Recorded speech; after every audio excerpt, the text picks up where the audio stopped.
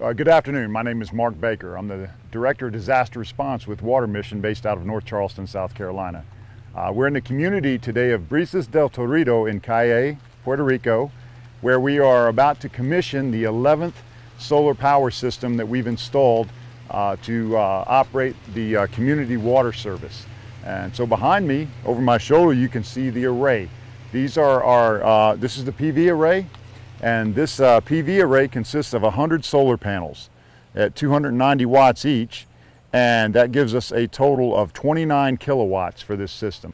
So what's going on here is with the solar array is where we're collecting the sun's energy, and we're collecting that in the form of heat energy, and that is DC current, and that DC current is then uh, wired down to a uh, electrical panel where it is converted into AC to run the water pump.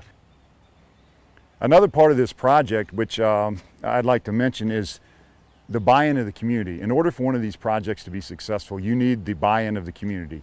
You need the community to accept and embrace the project.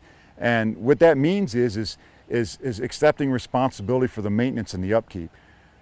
When a community is willing to do that, and they're also willing to do what we call sweat equity, you can tell uh, pretty much right away that the project will be successful.